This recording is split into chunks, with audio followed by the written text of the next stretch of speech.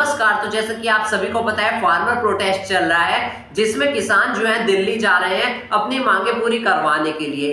रास्ते में कहीं उनको रोकने के प्रयास किए गए बैरिकेड्स लगाए गए कंक्रीट की दीवार खड़ी करी गई रास्ते में कीले लगाई गई, और भी पुलिस तैनात की गई, कई प्रकार से उनको रोकने की कोशिश करी। लेकिन किसान रुके नहीं, अभी लगातार आगे चल रहे हैं। जिसके बाद हम फ़िलहाल अब बात करते हैं आज की, जो कि है शंभू बॉर्डर पर जब किसान जा रहे थे तो उन पर आँसू गैस के गोले दागे गए। वहाँ पर आँसू गैस के गोले छोड़े गए, किसानों को वहाँ से भगाने की कोशिश करी गई। एक तरीके से कह सकते हो कि किसानों को वहाँ से बाहर निकालने की कोशिश करी गई। लेकिन इस वक्त हम लोग बात करेंगे ब्लॉकबस्टर हिट सनी देओल के बारे में। तो सनी देओल की भी एक फ़िल्म भी आई थी, आपको पता होगा, जो कि सुपर डुपर हिट फ़िल्म गई थी। गदर टू में सनी देवल एक सिख का किरदार निभाते हैं, वे किसान होते हैं, उनके पास ट्रक भी होता है। लेकिन ये सब कुछ मात्र फ़िल्म में है। असल ज़िंदगी में अभी तक का सनी देवल ने प्रोटेस्ट के बारे में कुछ नहीं बोला किसानों के लिए।